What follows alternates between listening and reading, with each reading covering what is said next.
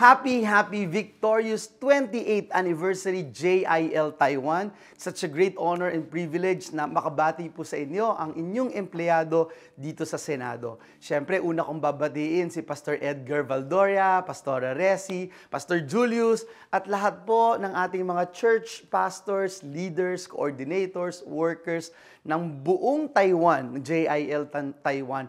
Ako po'y kabahagi ng uh, napakakulay na inyong kasaysayan sa paglilingkod sa Diyos. At uh, ngayong taong ito, napakaganda po ng inyong tema, unchangeable, found in the book of Malachi chapter 3 verse 6. Ang sabi po doon, For I am the Lord, I do not change. Therefore, you are not consumed, O sons of Jacob. Napakasarap po na uh, to be reminded that the Lord our God changed not. He is the same He is the same yesterday, today, and forever. Yung Diyos na naghati ng Red Sea, ang Diyos na nagbigay ng kagalingan, ng bumuhay ng mga patay noong kanyang kapanahunan. Yung pong Diyos na nagtalaga ng uh, uh, mundo sa kawalan, siya po hindi nagbabago noon, ngayon at magpakailanman at pangako po niya sa atin. Hindi niya tayo iiwan, hindi niya tayo pababayaan. Laging may tagumpay, laging may kagalingan, laging may roong saya at galak pagkasama po natin siya. So let us continue to hold on to His promise